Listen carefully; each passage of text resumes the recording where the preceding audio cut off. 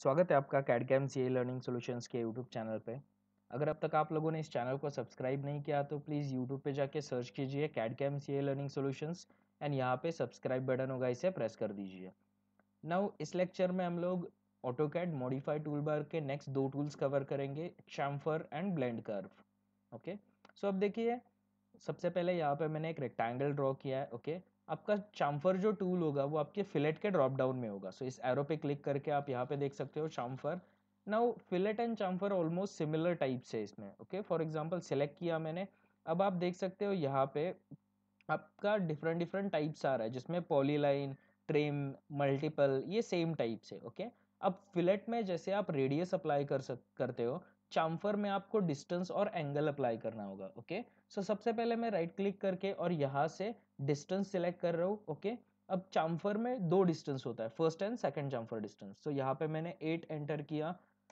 Again आपको second chamfer distance अगर आपका चाम्फर सिमेट्रिकल है और सेम है सो आप दोनों को एट एट एंटर कर सकते हो ओके एंड जैसे ही आप यहाँ पे टू लाइन सेलेक्ट करोगे, अब देखो आपका यहाँ पे चाम्फर आ जाएगा ओके okay? सो so, ये फ़र्स्ट मेथड था डिस्टेंस इनटू डिस्टेंस अब नेक्स्ट चाम्फर मुझे एंगल सिलेक्ट करना है. सो राइट क्लिक करके मैं एंगल भी सिलेक्ट कर सकता हूँ. अब एंगल में यहाँ पे आपको एक डिस्टेंस एंड एक एंगल ऐसे दो एंटिटीज ऐड करने हैं ओके सो पहले तो मैंने एट डिस्टेंस ऐड किया and then 45 degree 45 degree standard chamfer angle होता है. सो so, आप आपको अगर चेंज करना है आप चेंज भी कर सकते हो. यहाँ पे मैंने 45 डिग्री एंटर किया एंड देन सिलेक्ट किया. अब देखो यहाँ पे एट बाई फोर्टी फाइव का चाम्फर आ जाएगा यहाँ पे एट बाई एट का चाम्फर है ओके ओनली ये टू डिस्टेंसेस है ये डिस्टेंस एंड एंगल रहेगा राइट अगेन ये दोनों भी मेथड में आपने देखा कि ओनली सिंगल टाइम यूज़ हो रहा है ओके okay?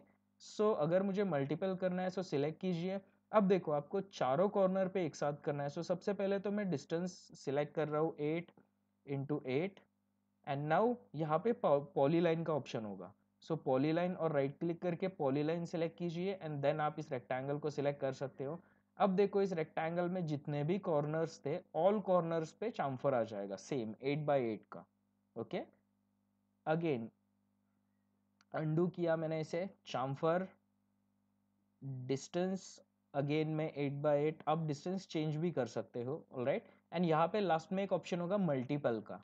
सो so, मैंने मल्टीपल सिलेक्ट किया अब आप देख सकते हो मुझे इस एज पे चाहिए एंड देन सेकंड एज पे चाहिए ओके सो जैसे आप सिंगल सिलेक्ट करते हो सिमिलरली बट ये टूल ऑन ही रहेगा जब तक आप इसे एस्केप नहीं करते ओके okay? सो so, इस दो एजेस पे मैं मल्टीपल चाम्फर यूज़ कर सकता हूँ ओके okay?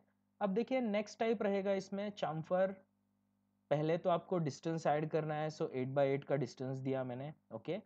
यहाँ पे देखो मेथड रहेगा अब मेथड में अगेन आपको distance and angle method select करना है ओके okay? सो so, जो आप यहाँ पे सिलेक्ट कर रहे हो मेथड से भी सिलेक्ट कर सकते हो। एंड फाइनल ऑप्शन ट्रिम रहेगा ट्रिम पे सिलेक्ट कीजिए और राइट क्लिक करके ट्रिम सिलेक्ट कर रहे हो। बाय डिफ़ॉल्ट ट्रिम रहेगा मीन्स आपके एजेस ट्रिम हो रहे हैं। अगर मैंने नो ट्रिम किया अब आप देख सकते हो यहाँ पे ये एज रिमेनिंग होगा एंड आपका चाम्फर भी ऐड हो जाएगा। अगेन चाम्फर एंड इस एज पे भी मैं कर रहा हूँ।